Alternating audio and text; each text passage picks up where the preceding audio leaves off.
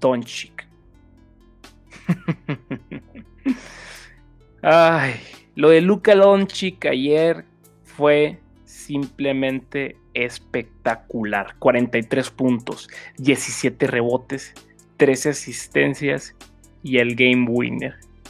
Tiene 21 años, es su segundo año en la NBA y son sus primeros playoffs.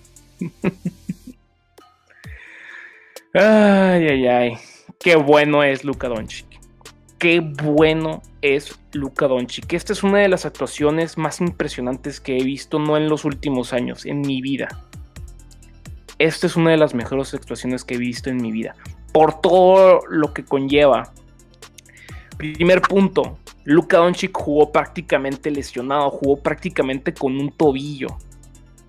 En el Game 3 vimos cómo Luka Doncic se lesionó, trató de regresar al juego y no pudo seguir jugando. Lo tuvieron que sacar. Incluso hay una conversación de que si estaban haciendo bien los Mavericks envolviendo a dejar que jugara Luka Doncic. Eh, yo estaba platicando con algunos amigos de si Luka Doncic debería seguir jugando esta serie, de si Luka Doncic debería jugar el siguiente partido. Incluso un amigo llegó a decirme, ¿sabes qué? Yo lo guardo hasta, hasta la siguiente temporada, que no juegue, porque es el futuro de la NBA, etcétera, etcétera. No se sabía si iba a poder jugar. No se sabía.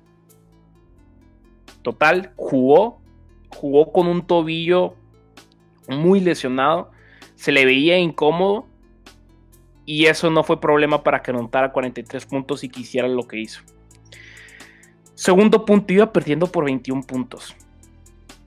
Iba perdiendo contra, por 21 puntos y no contra cualquier equipo. Estaba jugando contra probablemente el mejor plantel de la NBA. Kawhi Leonard, Paul George, Marcus Morris, Patrick Beverly, Lou Williams, que Patrick Beverly no jugó, pero bueno, ¿Se imaginan que Luka Doncic y los Mavericks se hubieran dado por vencidos? En este momento la serie iría 3 a 1. Ahora va 2 a 2, gracias a esta enorme actuación de Luka Doncic. Esto me habla de que Luka Doncic tiene liderazgo, no solamente es talento, no solamente es eh, estadísticas, te saca los partidos. Y esa es la diferencia entre yo creo un Trey Young y un Luka Doncic. Luka Doncic te gana partidos. No solamente son estadísticas. Tercer punto, esto fue contra los Clippers, contra Kawhi Leonard. Kawhi Leonard para muchos es el mejor jugador de la NBA hoy, en este momento. Fue contra Kawhi, contra Kawhi Leonard. 43 puntos, 13 asistencias. Oh. Ah, 43 puntos, 17 asistencias, digo, 13 asistencias y 17 rebotes contra Kawhi Leonard y los Clippers. Los Clippers son el plantel más vasto de toda la NBA. Y también toda esta conversación que había de que de lo que le dijo Harrell, de que era un básicamente un niño blanco, etcétera, etcétera, había mucha polémica acerca de este tema. Bueno, ¿qué hizo el siguiente juego? Fue y anotó 43 puntos con el game winner.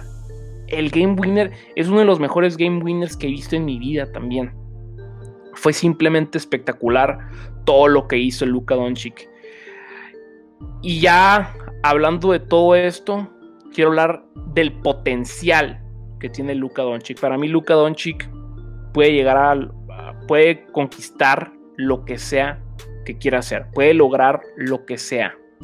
Si me dices que Luka Doncic va a terminar siendo uno de los mejores 10 jugadores de la historia, la compro. Si me dices que Luka Doncic va a terminar siendo uno de los 5 mejores jugadores de la historia, la compro.